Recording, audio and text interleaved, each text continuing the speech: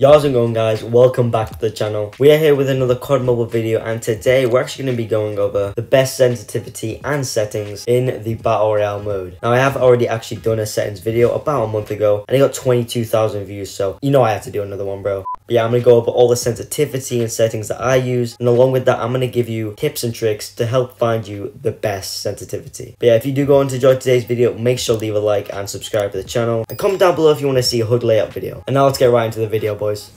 Alright boys, so starting off in the basic section. We have aim assist on of course, ADS button for rotation on, shotgun hit reminder, now that basically shows how much damage you're doing when using a shotgun. Automated armor repair, I think you should actually have that off. Joystick auto sprint, I like to have auto sprint on, just when I'm running around, rotating the zone, uh, just auto sprinting. Fixed joystick, I don't really like having a fixed joystick, so I have a floating one. Continuous grenade throw, definitely do not have that on, because that is when, as soon as you press your grenade button, it actually throws it straight away, which isn't that good, I don't think. Quick weapon switch, I think you should have that on. Auto expand wingsuit, now basically, it will automatically pull out your wingsuit when falling from a high distance. And if you don't have this on, you'll have to use a separate button to actually activate the wingsuit. Auto use definitely don't have that on. I don't know why they've even added that into the game. And you can randomly healing midway fight. Like, what is that? Right, so damage number. Uh, damage number is when it shows how much damage you're doing to your opponent, which is actually decent, I think.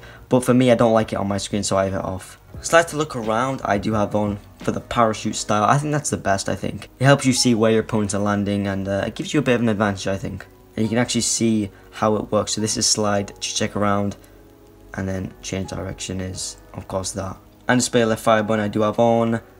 Always sprint, I think you should have that on boys. FOV has to be at 90 bro. And then also uh, 80 for the third person only. Sound reminder, um, I would say this one is actually probably better because it's closer, but yeah. And for this, I would say have that on because it gives you a big advantage, but again, I don't like it on my screen, so I have that off. But if you want an advantage, have it on. Moving on to the graphics, I have them on medium, but I know a lot of people that play low just so they don't have any frame drops, but for me, I have an iPad Pro, so I don't get any frame drops either way, so I just have it at medium. Realistic for the graphic style, and then considering I'm only at medium, I only have real-time shadows and anti-aliasing, so I just have those both on just to make it a bit more realistic, a bit more cleaner. And yeah, that's pretty much it. Now going on to the sensitivity. Alright, so BR mode sensitivity, here we go. Speed acceleration. Now for my multiplayer speed acceleration, I have at 120, which is extremely high. Which, you know, I like to flick in multiplayer, but in BR, I don't flick at all, to be honest. So I have it at 90. You still need it a bit high just for that movement, but honestly, don't have it over 100. And I think 90 is perfect for Royale. Sensitivity switch, switch while opening ADS, think that's the best, yeah. And then for the actual camera sensitivity, what the fuck? But yeah, for the camera sensitivity, third person sensitivity, I have on 100. I'm a high sense player, remember that boys? 104 for the FPP view, uh, and then fire sensitivity, pretty much the exact same, but uh, a tiny bit higher. But yeah, here's all my sensitivity if you want to know what it is. I don't really recommend copying it. I know one way to actually figure out the perfect sensitivity for you just go into a custom, a private match in Battle Royale and aim at some of the targets in the map. It can be really anything, just aim at something so you can have an idea what your sensitivity should be. Gyroscope, I don't use it so it doesn't really matter to me. Uh, moving on to the looting settings. Auto loot, I don't like that at all. It just makes my backpack full and I, I don't like it. Uh, medicines, armor repair, Pretty much that's the default 12, 4 and 2.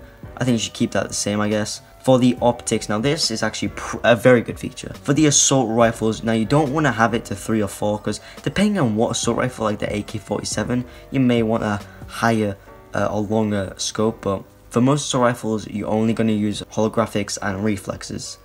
Uh, sniper rifles, the default sniper rifle scopes are probably the best like the DLQ, Locus, so uh, don't have any equipped for that. LMGs, uh, pretty much the same as assault rifles, but they're a bit better at range, so times 3 is probably the max. SMGs, it's a short range weapon, so reflex holographic, uh, no, no longer than that. And max rifles, pretty much everything, to be honest, I've just equipped everything.